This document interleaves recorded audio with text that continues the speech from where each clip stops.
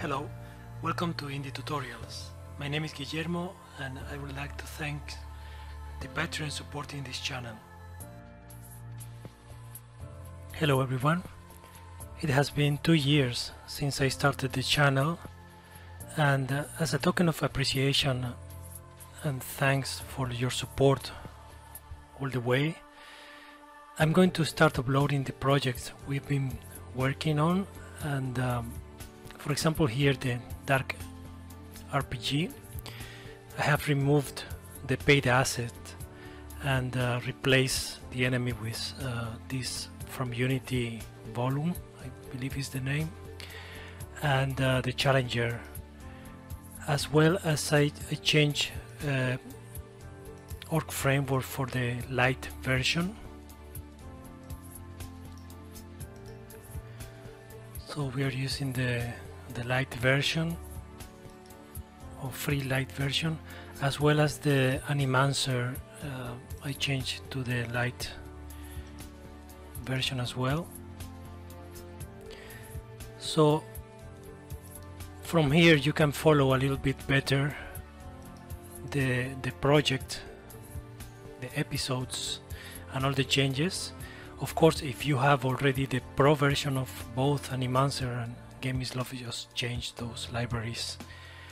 But at least uh, you can follow along a little bit better I, be, I guess. So let me click play to just make um, a little bit to showcase what we have here.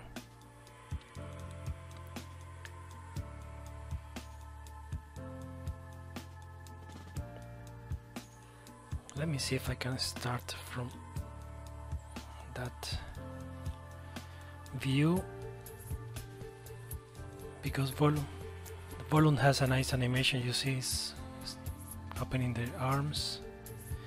And of course we still have the same logic the same movement set targeting as we left in the last week. So if I were to go now to the teleport I have to remove the of course the visual effects that were were paid and uh, yeah we have the HUD as we had before.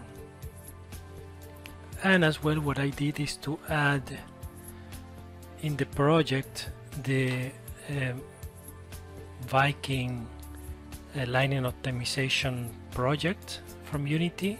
So if I go to the scene changer I call this scene the village. So I can just change here the scene changer to move to the village instead. Remember that we need to of course add those to the build settings. So if I were to click play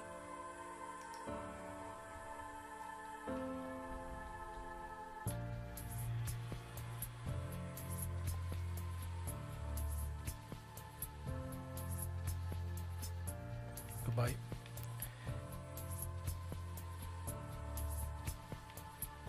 now we are in the village.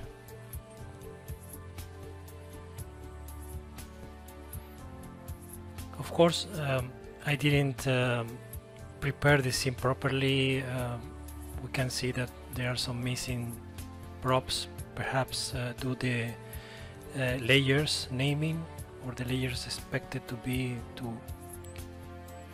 render those assets. But you get the idea what I wanted to do is to to get some somehow a bigger environment to load for the next um, one of the next episodes regarding the loading screen. We are going to build a custom loading screen.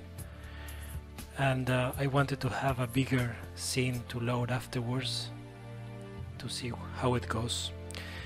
But anyways I really I really want to thank you all for supporting the channel and I hope uh, you like it that I'm going to release those uh, these projects the dark IRPG uh, the lightning returns uh, of course I'm going to release it. Not not the one made in ORK 2 but the new one. I'm just trying to find a good free asset to include and to be sure that I can actually release those.